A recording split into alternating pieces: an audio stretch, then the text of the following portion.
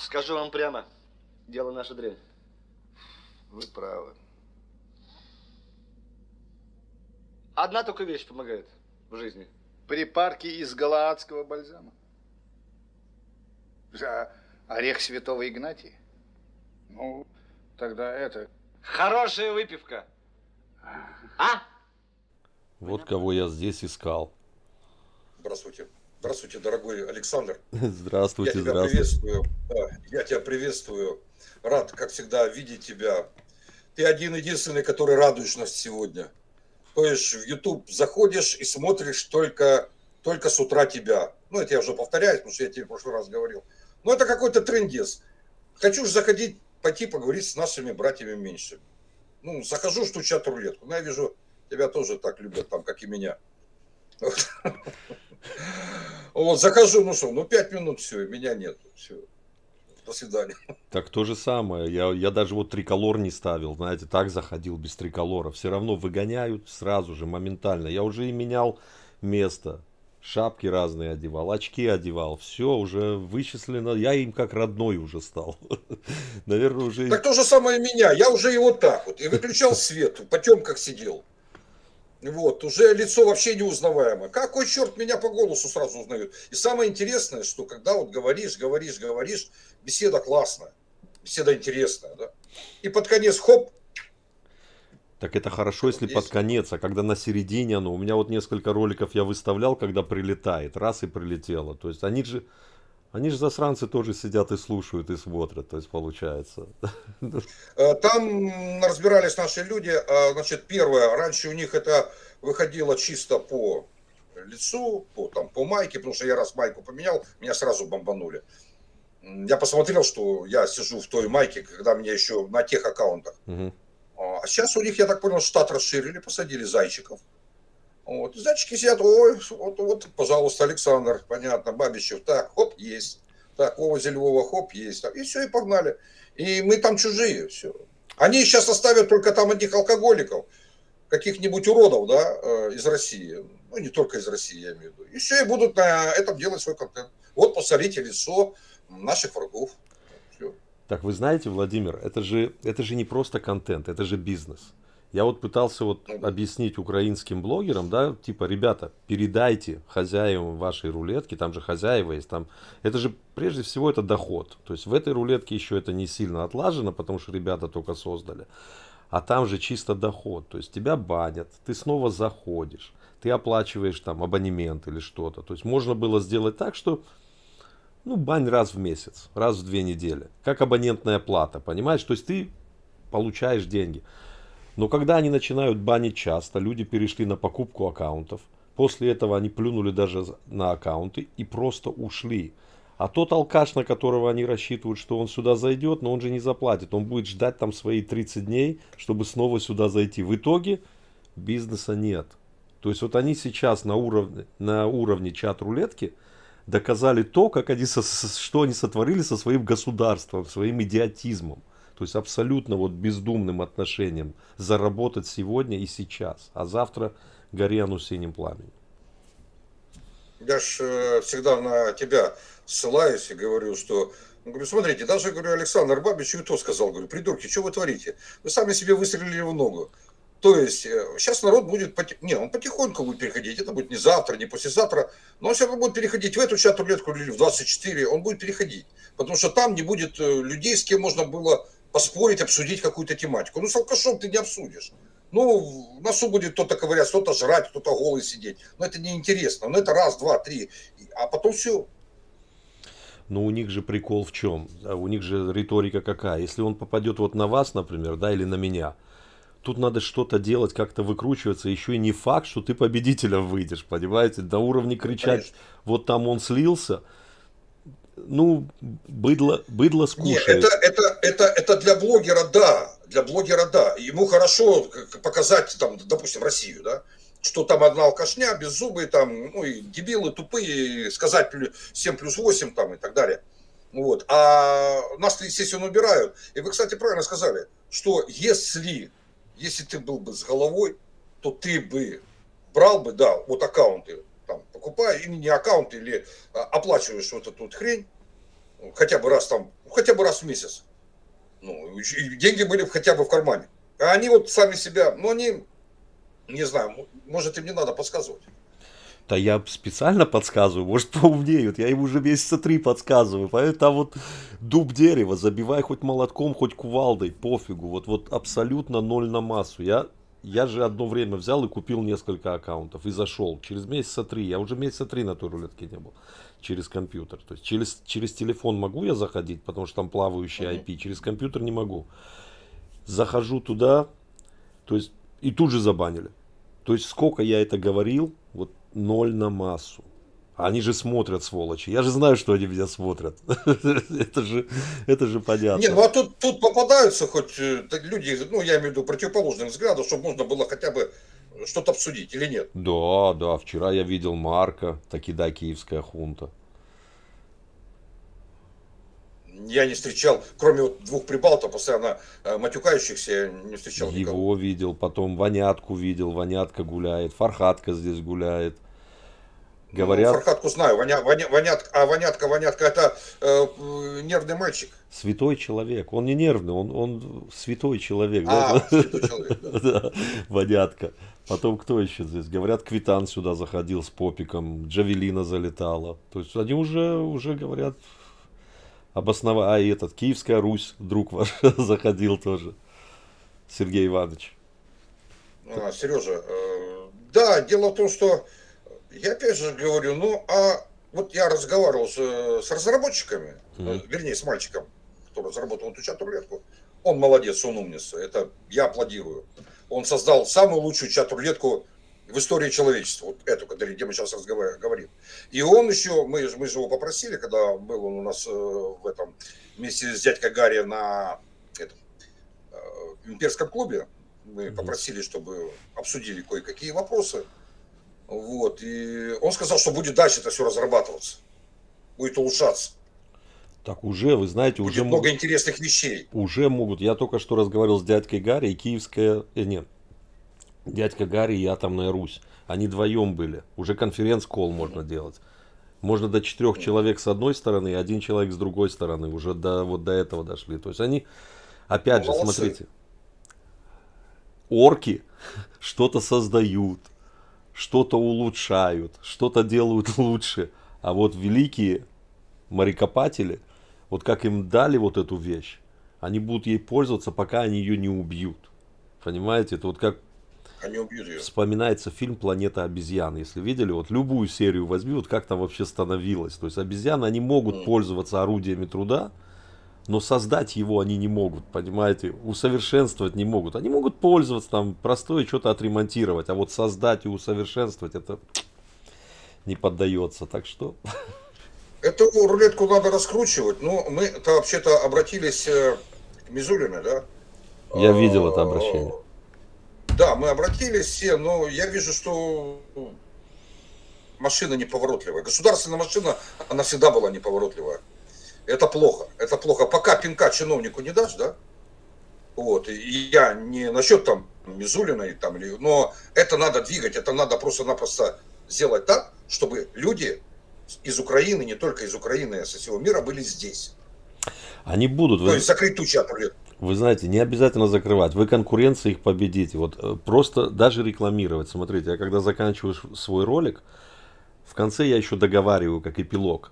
И вот когда я договариваю, у меня вместо вашей картинки рулет ТВ высвечивается. То есть люди смотрят и думают, а что это за рулет ТВ? А ну-ка дай зайду. И вот здесь я уже встречал несколько человек, которые мне, мне же и говорили, благодаря тебе, вот благодаря твоим роликам мы сюда зашли. То есть, понимаете, вот, вот это вот классно просто.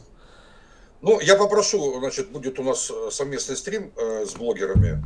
Э, не знаю когда, но, скорее всего, это будет, наверное, послезавтра э, по разным тем- темам, да, и это будет на каком канале, тоже не знаю, но в Телеграме я объявление дам. Э, и мы там дело обсудим, чтобы после каждого ролика, как это делаете вы, да, это рекламировать, показывать вот эту рулет. Во-первых, она удобнее, она удобна. А Нет такого, как э, в той рулетке. Там и эхо, и и она переключается, тут намного все спокойнее, устойчивее. Не знаю, может при наборе э, больших людей, может что-то и появится, какие-то косяки, но это разработчику об этом думать я не знаю, э, говорить не могу. Вот. И э, мы попросили вот Гарри, да, он является главным этой чат-рулетки, и мы попросили, чтобы модераторы, которых он назначает, их мало пока, они пока на общественных началах, вот, и чтобы они не банили, даже если блогеры сюда зайдут украинские, их не трогать. Ни в коем случае. Пускай они здесь что хотят, то и творят. Ну, я имею в виду в плане э, дозволено, без, без этих всяких, э, я имею в виду, призывов там, к убийству там, и так далее, э, то это будет правильно. Это мы покажем, во-первых, свое лицо, и во-вторых, это будет плюс. Я не боюсь блогеров вообще никаких. Ну, ну да, бывает, я ошибаюсь. Бывает, что значит боюсь? Я не знаю. Я, я за ними охочусь.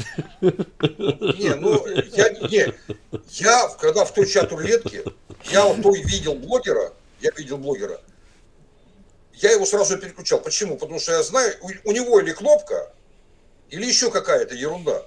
И я думаю, ну смысл мне, я сейчас с ним буду говорить, он мне там понажимает и все, и опять э, давай до свидания. Ну, а смысл мне с ним говорить, с этим, с этим зайчиком? Если бы он бы, хотя бы был бы вот на равных, давай поговорим, там, я факты, ты факты, не перебивая там, вот, э, тогда да, это был бы другой вопрос. А так, ну, а смысл с ними говорить? Ну, вот. И я вот тоже, мы как обсуждали, говорю, вопрос, конечно, говорю, интересный по Александру, вот, из Соединенных Штатов Америки. А почему, говорю, нас YouTube мгновенно сносит всех. Вот у меня сегодня канал забанили на неделю. Ни за что. Установлено время, и там оконцовка у меня, там вот как ярлаж заканчивается. Угу. И такая же, вот на, на этом времени меня забанили. Я подаю апелляцию, ноль по фазе.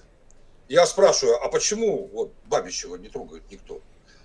А мне говорят, он же с Америки, у него есть, э, он может подать суд на YouTube американские. Ну, у нас же... Не, ну, смотрите, я... Во-первых, я не знаю. Тут меня уже и провокатором, и предателем, кем хотите называли. Типа, и вот, кстати, вот такая же риторика, почему всех банят, а тебя не банят.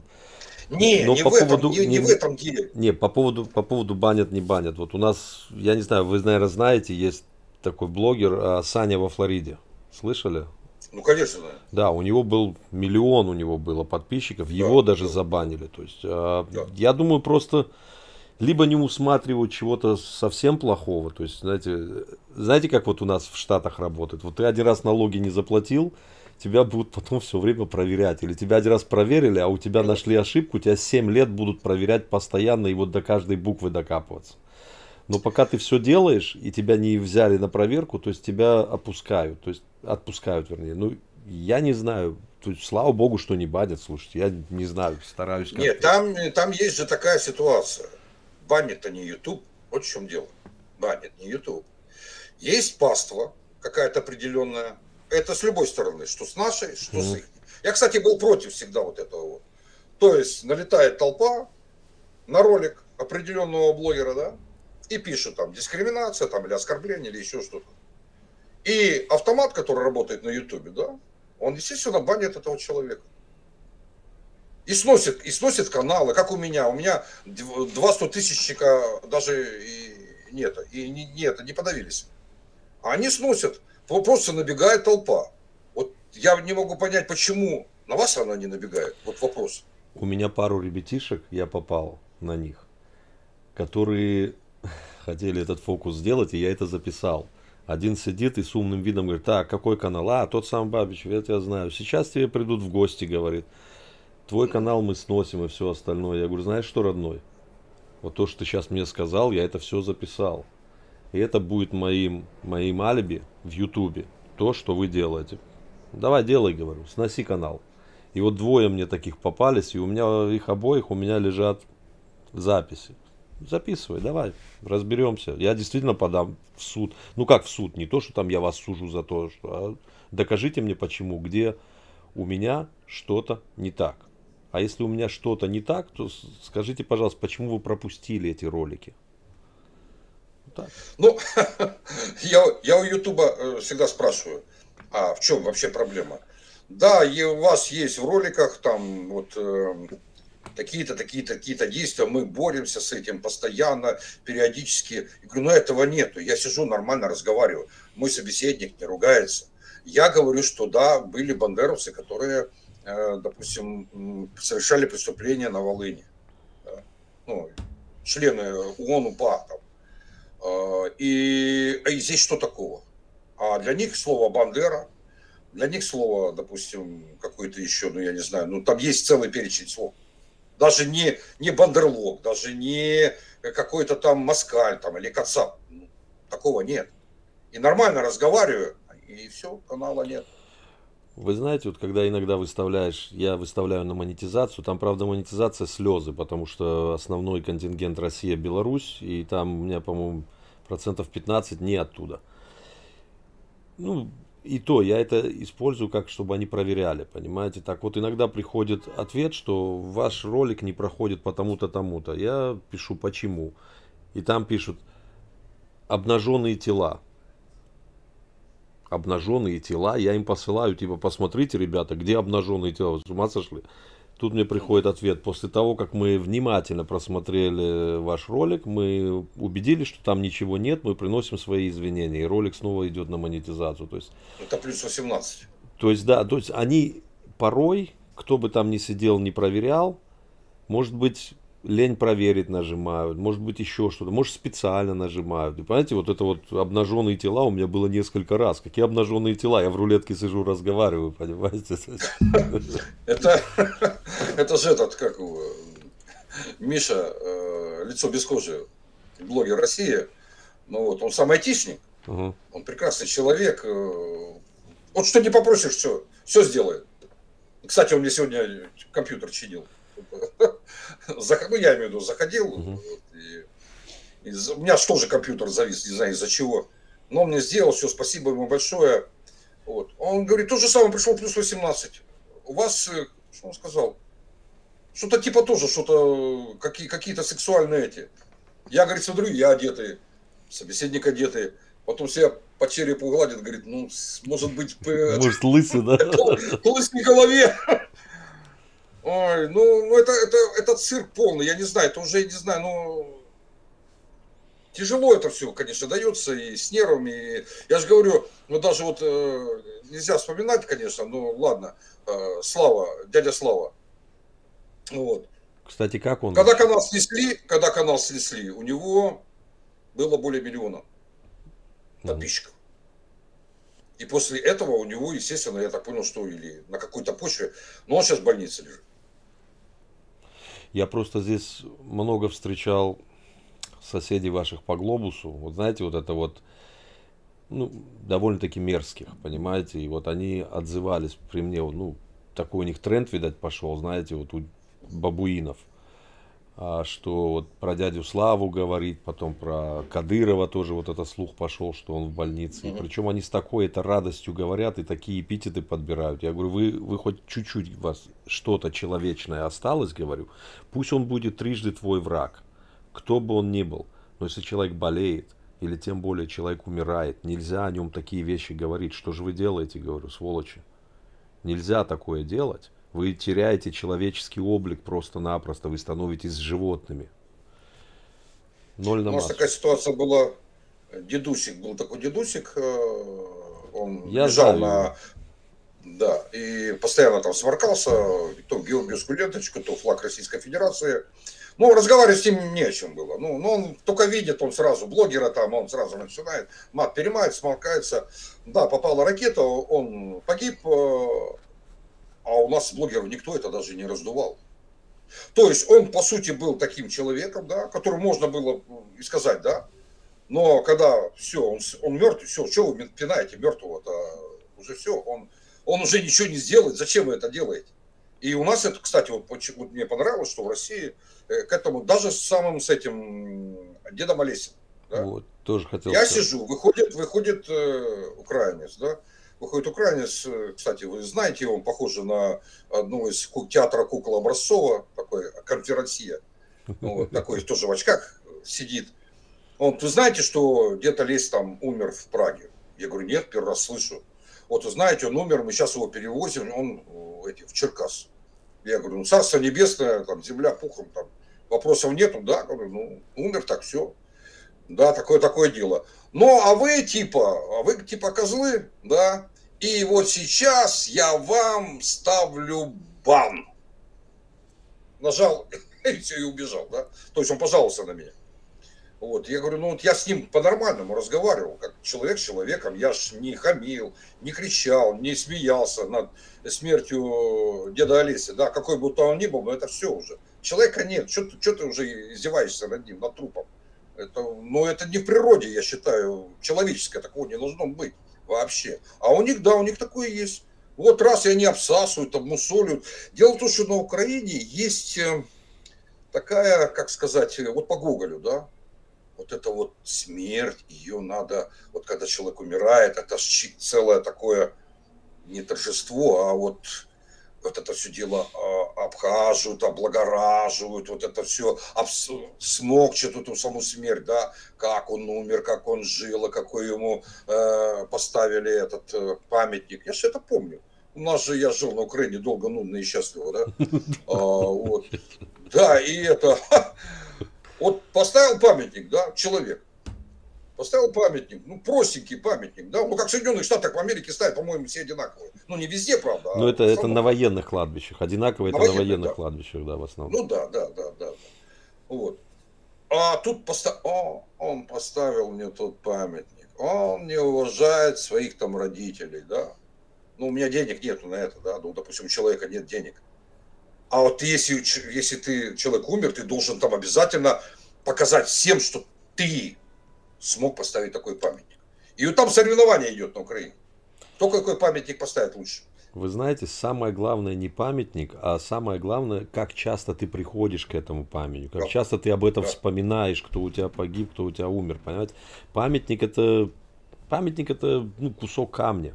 А самое главное, что ты сам пришел, отметился. Вот я недавно был на кладбище, да, вот был в Самарканде, там моя дедушка с бабушкой похоронены. Угу.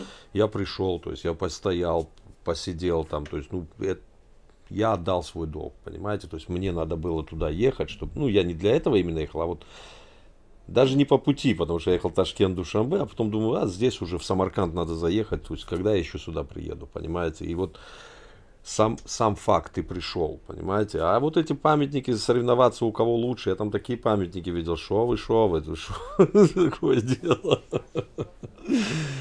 Ну, ну красиво, красиво, но все равно, знаете, вот такой, с претензией на такой, на наглость, понимаете, вот. Э... Ну, у нас у славян, у нас у славян, э, вот мне не нравится вот такое, когда день там, поминания, да, то есть идут люди на кладбище, ну, в разных регионах она по-разному, в разные числа. Ну, приходят, есть люди, да, которые пришли, помолились, помолчали, поставили лампадку, там, свечку, положили там какие-то там печенье, да, конфеты, там налили стакан, побыли, вытерли там, ну, в это время нельзя, конечно, вытирать, я имею в виду, посидели, э, вспомнили человека и ушли, да. А другие нет. Баян, гармошка. Это что на Украине. И в России такое есть. Он стоит на все кладбище, держит этот стаканюру и орет. Просто разговаривает громким голосом. Спрашивается, ты зачем сюда? Вот хочется подойти, но не в этот день, да, и не на кладбище бить ему морду, да. Ты что сюда пришел вообще? Для чего? Поорать, посмеяться и для чего? Ну, водки нажраться. Ну, идиоты, знаете, они, они везде есть. Тут, тут ничего. Кстати, вот ну, когда, да. помните, если у них была ситуация, когда упал самолет Ан-26, по-моему, или Ан-24, полный курсантов. 3-5 лет назад ну, было. Да, пол, полный курсантов, да. Старый самолет, по-моему, самолет моего возраста, там он и, ну, и упал. Я да. тоже сюда заходил, и вот э, я выражал соболезнования. По мне, так это ну, да. погибли лучшие украинцы. Во-первых, они образованные. Во-вторых, у них хорошее здоровье. То есть потенциал, который бы могли родить детей, нормальных детей, понимаете? И здесь вот люди, вместо того, чтобы говорить спасибо, типа, за сожаление, вот процентов 80 мне говорили, какое твое собачье дело. Ребята, я, я соболезнования выражаю, потому что погибли люди, причем лучшие люди. Какое мое собачье дело? А вы лучше вам было бы, если бы зашел вас материл, что ли? Это, это нормально, по-вашему? То есть даже вот ну, они да. не могут осознать, вот знаете, что вот человек может это просто делать от души. Удивительно было просто мне. Не знаю. Так что вот так вот. Вот так вот мы живем. Ну, не знаю, как там дальше будет с этими, с этими беседами и что для этого необходимо делать. Но будем стараться. Заходите сюда. Я, кстати, смотрю ваши ролики на этом, на телеграм-канале. Есть там такой Хахлосрач, по-моему, называется. Я там не, ваш... не, у меня, у меня, у меня канал как назывался Вова Зельво. Не, не, не, это не ваш канал, это не мой канал. Там несколько ро... а. там несколько блогеров выставляют, и вы один из них, кого там выставляют ролики. Посмотрите. А, ну может быть. Не, не были э, никогда? Дело... Не, не был. Там, во-первых, у меня времени нет. Э, во-вторых, э, ну, как бы со своими делами справиться.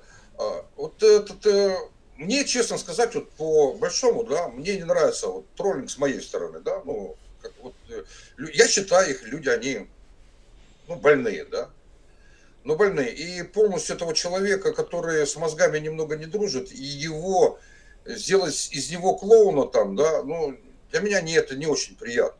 Ну, нет. Вот у меня вот недавно был ролик, да, с человеком, которому уже близко к 70, он из Константиновки.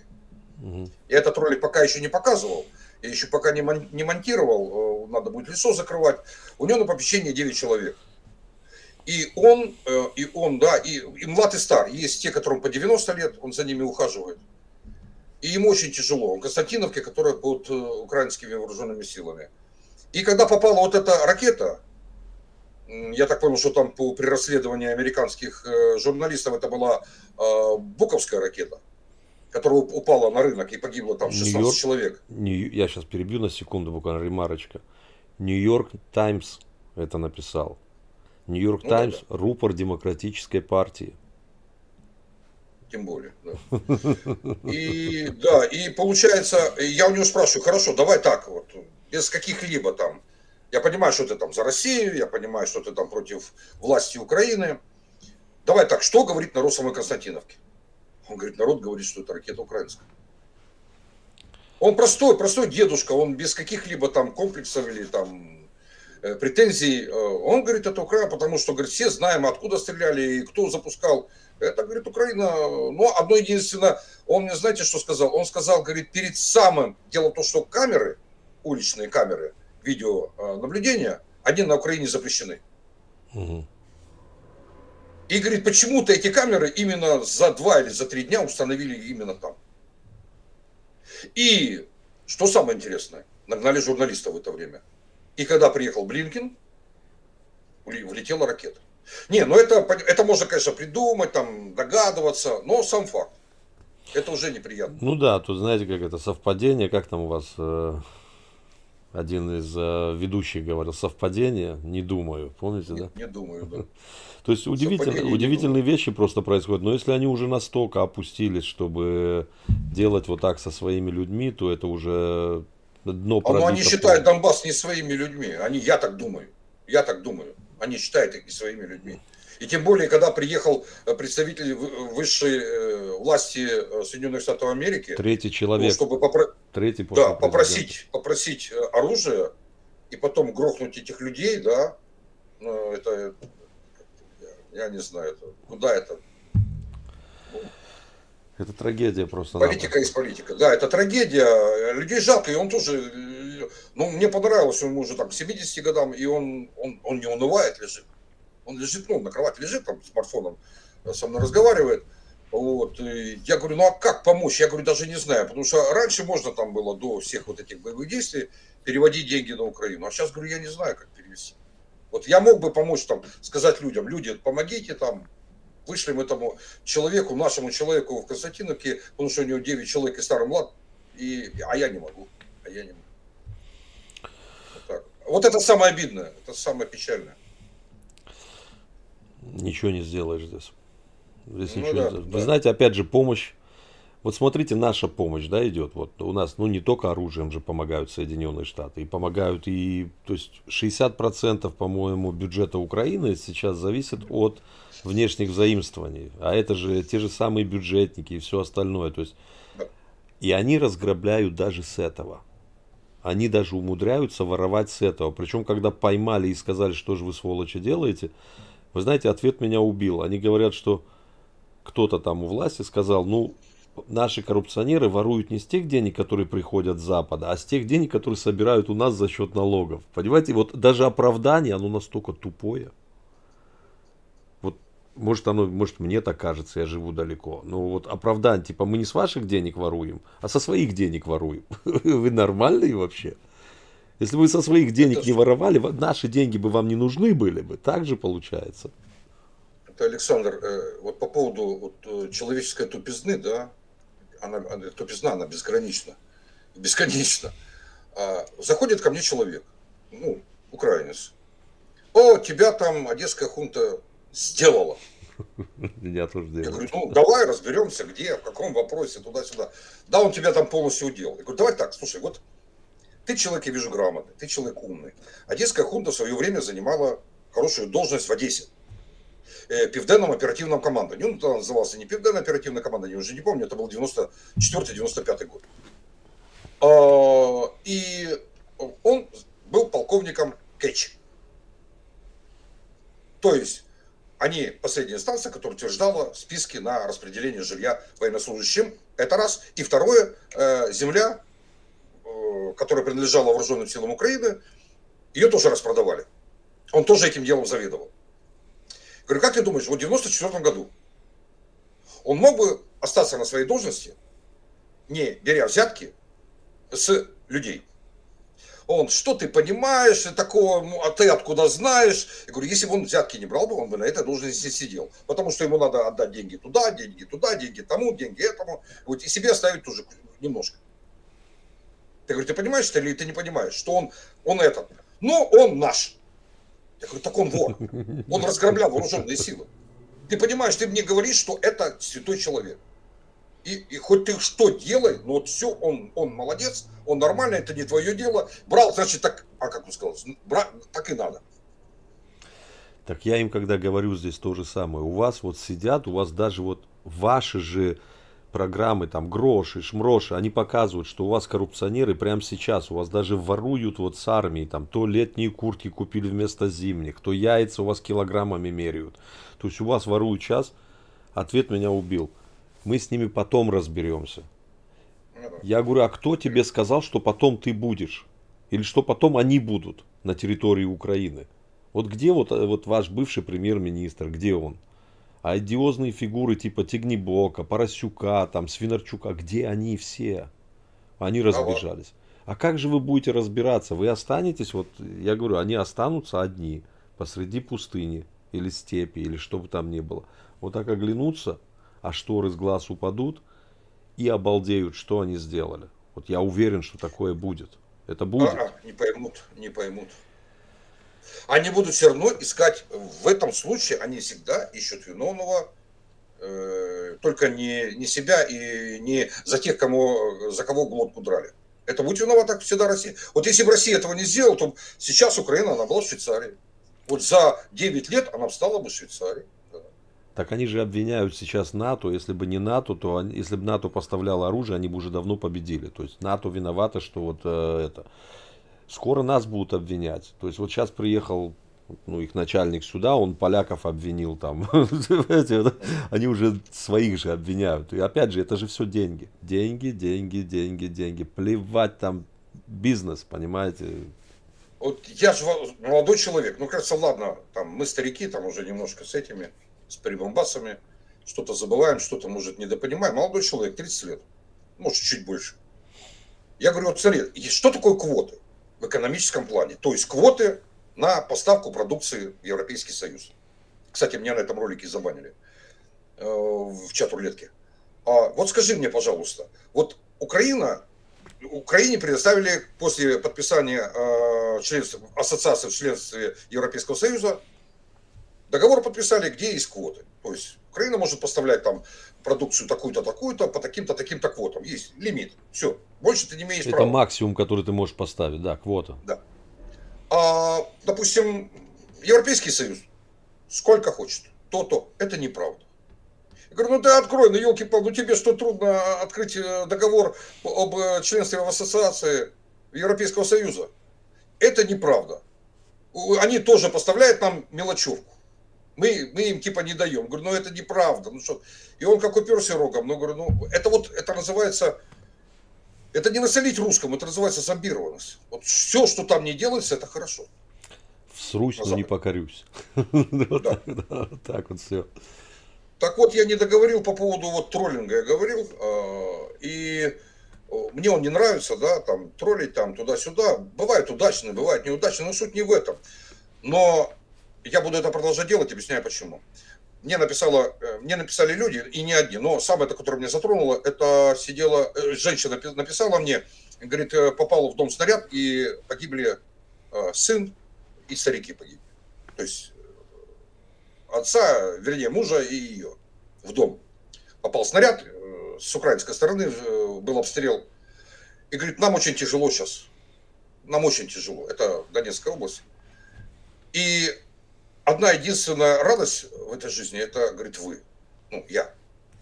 То есть вы, когда вот этими шутками, там, прибаутками, вы там говорите, там, смеемся, и мы смеемся и забываем хоть на минуту, хоть на, на секунду, но о том, что у нас такое горе.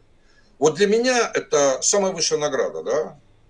И когда она мне написала, я сидел, я, ну, я в шоке был. Я не знаю, как эти люди, да, когда погибли самые близкие, да, и родители, и дети, и вот она мне такое пишет, я не знаю, ну, вот ради этого я и сижу здесь. Это классно. А мне Чтобы... знаете, что приятно, когда попадаются люди, вот попадаются с Донецка, попадаются с Крыма, попадаются там с Луганска, попадаются вот, ну, неподконтрольной, скажем, Украине территории. И вот спасибо, спасибо, что вот ролики выставляют, все. И потом попадается, к примеру, Одесса, попадается даже Львов, там, и так, знаете, за понебратски, Сашка, спасибо, что ты делаешь, молодец, классно, мы тебя смотрим, все. Я говорю, блин, вот понимаете, вся Украина смотрит практически. Вот любая точка, вот попадаются люди. И это приятно, то есть люди смотрят. Конечно, ругают тоже много, там кто-то сразу же. Но вот то, что ругают, это они идут по нарративу, надо ругать. А вот люди, которые смотрят, даже вот эта благодарность, она ну, стоит того, что мы делаем. Это приятно. Я, ж, я просто, э, я был на их месте. Я представляю, вот я иду в магазин, да, я иду куда-то в общество, к знакомым, к родственникам, да, но это после 2014 года. И а, они, да, они зомбированы, там, армия нового вира, Украина по Надусе и так далее по списку. И ты знаешь, что тебе э, спорить нельзя, объясняю почему. Первое, я не сдержанный человек. То есть я могу наговорить всяких глупостей, и могу влезть в драку, и могу натворить бед, да, то есть ну, после этого я могу, меня могут э, или в тюрьму, или вот. я это понимаю, да, и у меня отдушина была это, когда я смотрел просто-напросто телевидение российское, политические программы, ток-шоу, когда я был на Украине. Сейчас я в России, вот мне намного с этим делом проще, но те люди, которые с мозгами такие, как у меня, я не знаю, как они там выживают. Я просто, вот сейчас я думаю, если бы я остался там, да, за мной пришли бы. За мной пришли бы, потому что я по должности, я очень нужен вооруженным силам. Вот, э, и, как говорят, в хахивец, да, естественно, я бы не пошел бы. Естественно, меня ломали. Естественно, меня оскорбляли бы. И, скорее всего, я применил бы оружие, скорее всего. Это сто процентов. Потому что я э, был бы загнан в угол, как та крыса, да, или как, как та собака. Ну, крыса не крыса, себя нельзя сравнивать. Ну, волк. Как та собака. Угу. Да, или волк, да, и, а мне деваться некуда. И я буду, естественно, я, я бы убивал бы, да. И вот такой, и вот одну единственное меня, видно, Господь Бог поберег и сказал, Володя, давай, Вали отсюда. Россию, да, вали отсюда не занимайся ерундой на Украине. Ну вот, и получилось, да, получилось. А вот я не представляю, как там люди. Даже вот эти вот, когда он сидит, боец, да, он говорит, я вооруженный, солдат вооруженных сил. Он сидит и он плачет. Прямо так сидит. Это у меня есть ролик. Он сидит, плачет. А в этом Славянске он сидел, да. Я не знаю, что мне делать. Меня отправляют, а я не хочу. Я жену, да, отправил в Норве... Э, не в Норвегию, в это, в Нидерланды. Я жену отправил туда, семью полностью уехали, а я вот тут остался, а меня заставляют, а я не хочу идти. И что мне делать? А я сижу и не знаю, что ему сказать. Сдаться плен как? Каким способом? Ну как, как я представляю, сдаться плен, ну как? Это когда идет бой, ты можешь, если тебя там не ранят, не грохнут, ты можешь как-то прокричать, пацаны, не стрелять, я свой. Но могут и не понять тебя, да, могут и тут же сразу же шлепнуть. Мало. Вот таких своих, знаешь, сколько здесь? Либо те, либо свои, либо ты как, через минное поле побежишь? Да, да, да, да, да, да. Там вариантов масса. Как ты сдашься? Куда? За границу выбежать не можешь, да? И все. И ну, он сидит, плачет. Ну вот я Боец. говорю, мне кажется, такое ощущение, что кто-то вот решил действительно избавиться от населения этой страны, и те, которые сейчас уехали, вряд ли они вернутся обратно. Ну, у них, вот я недавно разговаривал с блогером с одним, там такие оптимисты сидят, слушайте, сиди, я сам открою. Он говорит, 80% вернутся. Родной, если 20 вернутся, радуйся. Но 80 точно не вернутся, и даже 20 не вернутся. И чем дольше конфликт затянулся, тем меньше гарантий, что вообще кто-то вернется. А если вернутся, то будут это те, которые себя не нашли в Европе, которым пособие отключили. Вот обе левые руки, вот они вернутся и будут восстанавливать вашу страну. Потому что те, которые хотя бы пару извилин есть, они себя там найдут, дети пойдут в школу. Женщина, если без мужа найдет себе кого-то, все, и ее ничего не держит с твоей страной. Ну, будет ну, висеть у нее флажок Украины где-то, и будут вспоминать, что когда-то они были украинцами. Все, на этом кончится все. Эти разорванные семьи, они э, на протяжении не одного десятка лет на самой Украине. Дело в том, что э, тенденция такая, что э, народ, рабочий люд, он уезжал всегда на заработки. Без разницы в какую страну. Кто в Россию, кто в Польшу, кто в Америку. Да, они ехали массово. И у меня таких знакомых, объясняю, почему их много, потому что я сам был зарабичанин. Mm. Я уезжал, я пять лет работал в Европе. Вот, и о, у меня есть знакомый, да, он в Америке живет. Он уехал, ну, тогда, когда я был в Европе, он уже 10 лет в Америке прожил. И он, да, он берет видео, он показывает, э, где он отдыхает, э, какой у него дом, какая у него машина, да. Ну, неплохо он работает простым рабочим, нормально получает, жизнь неплохая. Я говорю, а семья? А говорит, семье помогаю, но здесь у меня есть курочка своя, вот, она тоже украинка, вот. Я фактически ту семью я, я забыл. Да, я помогаю там, ну, коммунальные услуги. Там жена и сын у него остался. Все. У него здесь своя жизнь. Говорит, ты возвращаешься? Он говорит, нет, я не буду возвращаться. У меня эту курочку, я ее люблю. Вот ну, вот, вот так оно и получается. Вот все, кончилось. И таких, и таких, как он, миллионы. Потому что я был, да, ребята, да, ну, те, которые, ну, опять же, что такое физиология? Есть экземпляры, когда жена верна мужу, муж верен жене. Есть. Много их? Нет, их немного. И вот получается, что она на Украине, он на заработках, или наоборот, да? Все. Естественно, находит она кого-то, он находит кого-то, потому что физиология – это человек, это не робот запрограммированный. Кто-то улыбнулся, где-то под этим делом, где-то что-то как-то, и понеслась. Хоп-хоп, и, и все. И семьи нет. Да, да.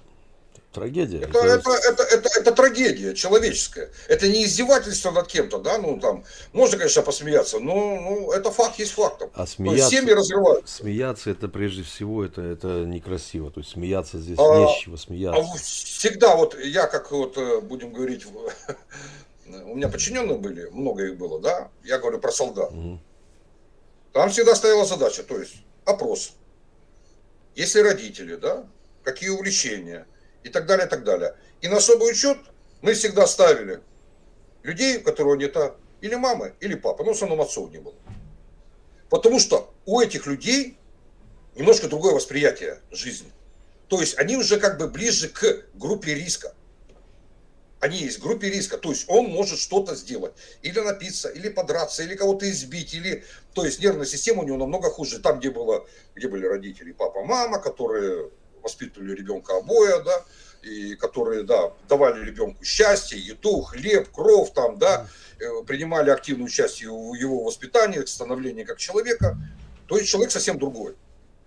Это же не мной придумано, это придумано психологами они нам выставляли, что вот ребята, вот это, вот это, им особое внимание. При заступлении на, в караул, при выполнении боевой задачи, да, на них особое внимание.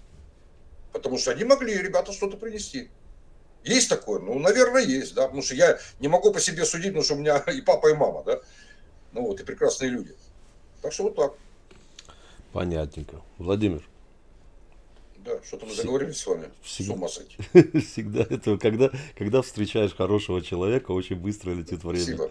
Спасибо, Александр. Да, вам спасибо. Мне, я специально вас здесь искал, очень приятно поговорили, то есть серьезно. Вы чувств, чувствую. Чувствовал, да. Я, кстати, узнал, что вы здесь гуляете время от времени, и поэтому зашел. Понял. Сдали. Вы как, не против, если я вот это вот тоже поставлю? Александр, за, ради бога, для хорошего человека ничего не жалко. Хорошо, давайте вам удачи, добра, всего Спасибо. самого хорошего, мирного неба над головой, здоровья самое главное. Да. Вам всего доброго, вашим, вашей семье самого хорошего. До свидания. Вам тоже удачи. Вова со Львова. Прошу любить и жаловать. Канал Вова со Львова в Ютубе. Землянин, здравствуй. Уверен, ты когда-нибудь прилетишь и на эту планету. Тебя приветствует Владимир Николаевич Машков, строитель из Москвы, и Кедан Алексицы из Батуми, которые первыми ступили на эти гнусные пески на задворках Вселенной.